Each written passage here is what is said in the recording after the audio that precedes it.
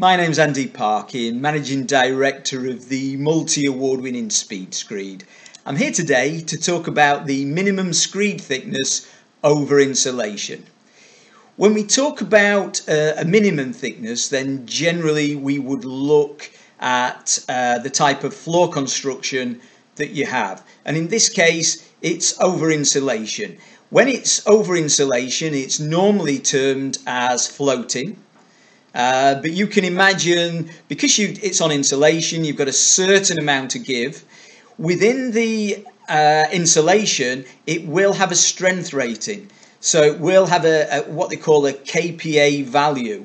So generally, a domestic property will have a minimum KPA of uh, 70, and a commercial operation generally starts at 100.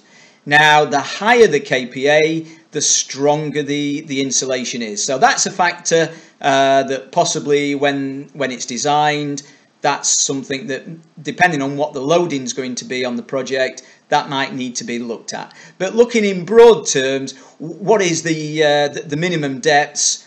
For uh, screed on top of insulation.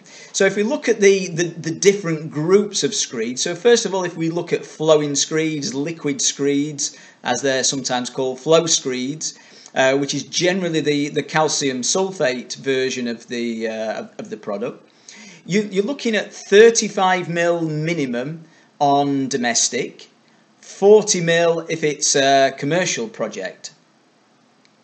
So for, for sand and cement, uh, if we look at a, a, modified sand and cement screed, so that's a, a, a screed with admixtures in, and you'd, you'd look at 35 mil as minimum. Now that's 35 mil for a rapid strength product. So if you're looking to, to get on the project very quickly from a point of trafficking and actually loading, then that's the project, uh, the the product that you would be uh, looking at.